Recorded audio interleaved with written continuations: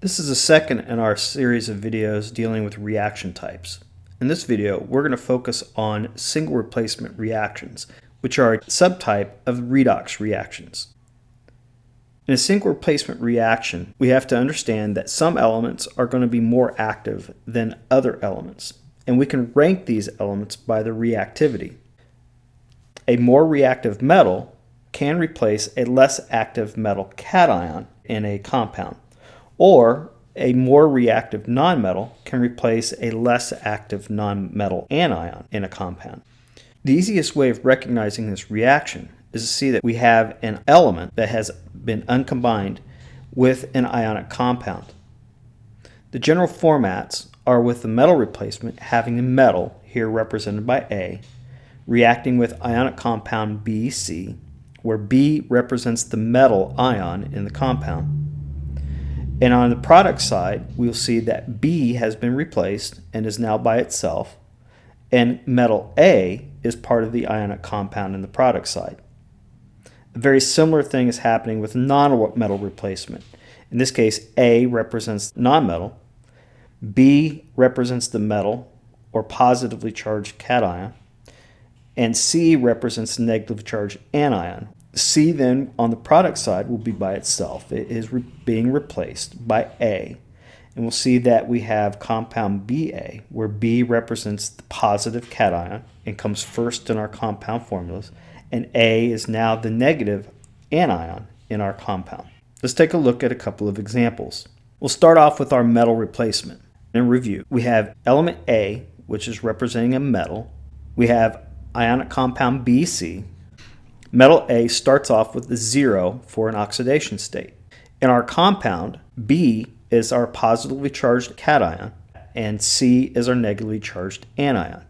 In this case, B would represent a metal element of some sort. C could be any kind of anion, polyatomic or monatomic. B is going to be by itself. We're going to be having a, a trading of places here. A is going to replace B. Our compound then on the product side is going to be made up of AC, and we'll see that A is now a positively charged cation and C is a negatively charged anion. B is a neutral element. Let's apply this pattern to these two reactions we see below. In the first reaction we're going to look at here, it's zinc reacting with copper 2 nitrate. In this reaction, the zinc and the copper are going to trade places. Zinc will replace the copper. Zinc is going to start off as a zero oxidation state. The copper is a 2 plus oxidation state, and we see it the anion of, of 1 negative for the nitrate. We start off by placing copper by itself, since it's going to be replaced by the zinc. And zinc will go with the nitrate. Now zinc forms a 2 plus oxidation state, so we still have a subscript 2 on the nitrate. And our oxidation state for the copper will be 0. Oxidation state for the zinc now is 2 plus, and the oxidation state of nitrate didn't change at 1 negative. We can also see that this is a redox reaction. The zinc has been oxidized. It's lost two electrons to go from a neutral element on the reactant side to the 2 plus cation on the product side. As well, our copper has changed. It's been reduced. We've gone from a 2 plus and gained two electrons to form a zero oxidation state on the product side. All single replacement reactions are going to be a redox reaction. In our last reaction, we're going to look at the single replacement reaction between aluminum and silver nitrate. Aluminum is going to replace the silver in the silver nitrate. Aluminum starts off with a zero oxidation state. Silver starts off with a 1 plus, and nitrate we know is a 1 negative. Silver will be by itself. The aluminum is going to go with the nitrate. And we see that in this case, because aluminum is going to form a 3 plus oxidation state, to balance the charge with the nitrate, we must have three nitrates in the formula. We then balance the reaction because we don't have equal numbers of elements on both sides. So we put a coefficient of 3 in front of the silver nitrate and a coefficient of 3 in front of the silver. This balances all the atoms in the reaction. And last, we can look at what the oxidation states have changed to. The silver is going to be a zero oxidation state. Aluminum has turned into a 3 plus cation, and the nitrate has stayed the same at 1 negative. And we can see again that we have a redox reaction. The second type of single replacement reaction is nonmetal replacement. Very similar. In fact, the only difference is that in this replacement reaction, a nonmetal will trade places with another nonmetal. In review, our overall reaction is going to look like metal, in this case A representing a nonmetal, reacting with the ionic compound BC. A will have a zero oxidation state. B is going to be our cation with a positive charge. C is our anion with a negative charge.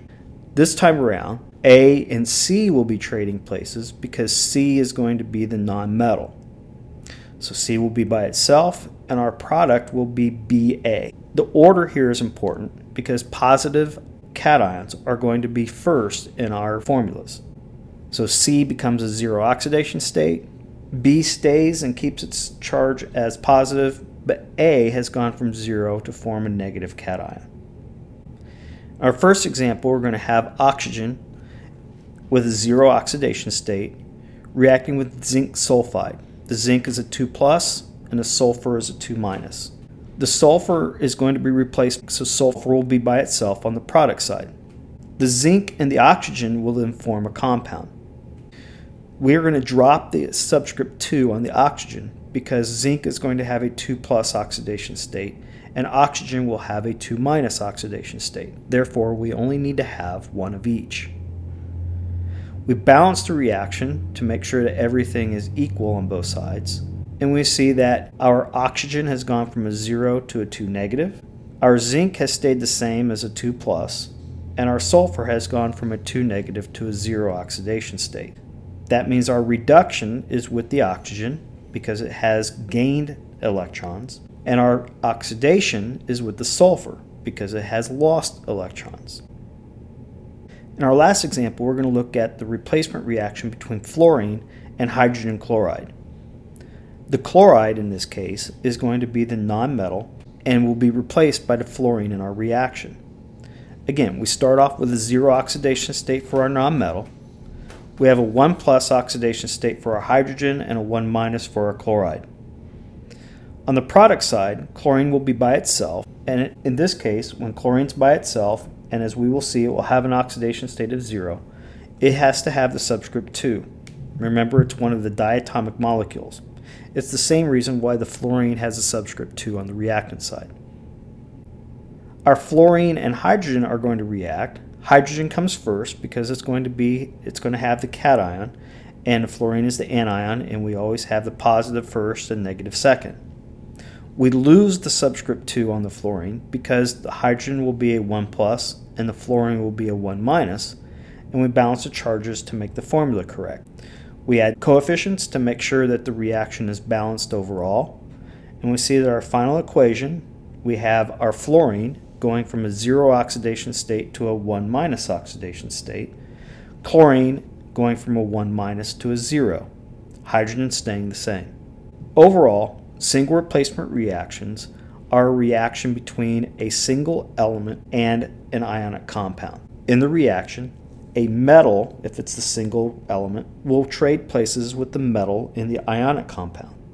If the single element is a nonmetal, it will trade places with a nonmetal in the ionic compound.